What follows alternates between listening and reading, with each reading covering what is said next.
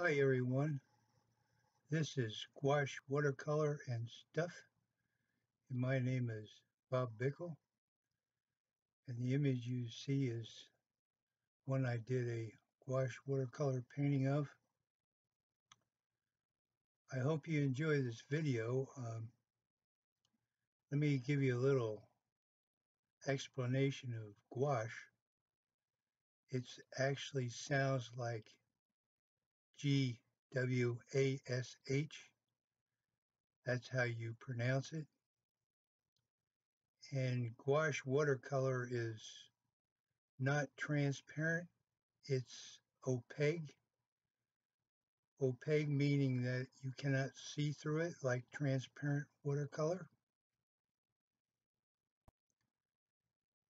It doesn't mean that you can actually paint over another color and not see it. But um, op gouache opaque watercolor is easy to work with. Uh, transparent watercolors are very difficult and it takes a, a lot of planning and technique where gouache watercolors, not so much. Uh, they aren't like oils or acrylic uh, paints. Gouache watercolors are like casein, which is another water-based watercolor, very similar to gouache. I've used all the watercolor mediums and I prefer gouache watercolor because of its opacity. It hides uh, a lot of your mistakes. But one thing about whites, uh, you don't, even though you can get it in a tube, it doesn't work well for putting down whites on a already painted surface in gouache because as it is a watercolor it tends to lift the pigment that's under it and saturate the pigment that's above it. So you really can't lay down a white. In in an emergency I'll go to a an acrylic white uh, if I have to, but I generally plan my whites like I would in transparent where you leave the white behind. Now you'll notice in some of his feathers there's traces of a lighter color. Well that was actually a white. You can see it lifted up the color that was underneath it and turned a dingy gray. I knew that was going to happen, and that's what I wanted it to do. It would have been tough to leave that white behind, but uh, I've also got a white gel pen I got from Amazon with a fine tip pen.